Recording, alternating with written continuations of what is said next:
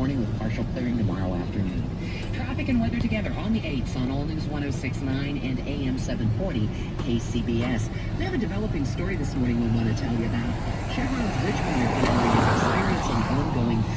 This morning, which has prompted the oil company to issue a level one warning to area residents. Chevron officials say a level one on the community warning system is the lowest on the scale and indicates in there will be no neighborhood, off-site like environmental or public health impacts anticipated. Look at that Company officials say flares are highly regulated safety devices that are designed to relieve pressure during Just the that firing deer. processes, and it helps to keep their equipment and their plants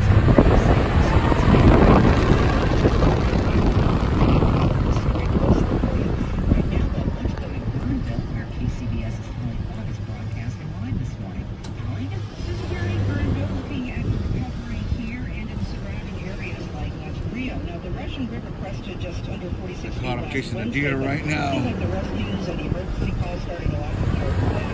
Um, joining me now is uh, Macro Fire Chief Steve Baxter. He has been fire chief since about 1986, but you missed the big flood of February that year.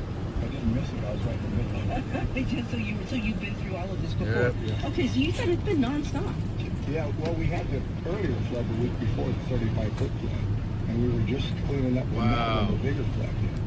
And then it was just A battle between for deers and coyotes. People driving in the water, people in houses caught, trying to divert water around people's houses. You guys backed up. Kids and property. It was just a nonstop deal for doing. And even though the river has um, receded, you're, you're still There you getting. go, What kind of chasing calls are you down. getting? Well, we've got, for instance, we've got a guy called in for someone's car.